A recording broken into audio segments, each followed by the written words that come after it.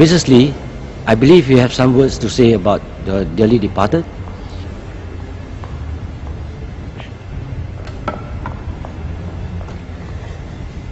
I'm not going to sing praises for my late husband. Not today. Neither am I going to talk about how good he was. Enough people have done that here.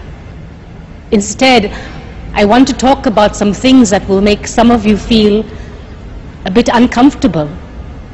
First off, I want to talk about what happened in bed. Ever had difficulty starting your car engine in the morning?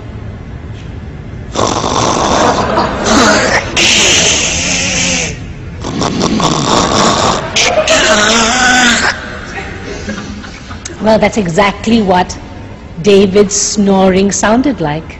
But wait, snoring wasn't everything. There was also this rear end wind action going on as well.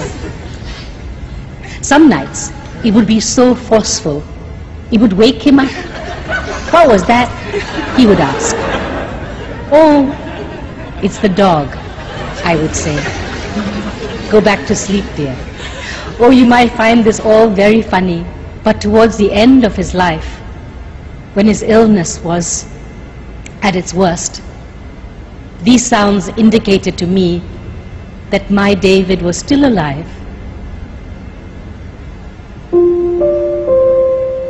And what I wouldn't give just to hear those sounds again before I sleep.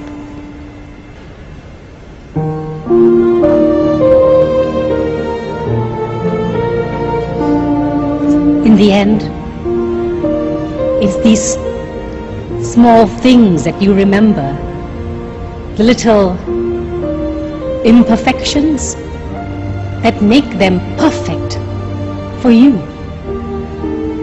So to my beautiful children, I hope one day you too find yourselves life partners who are as beautifully imperfect as your father was to me.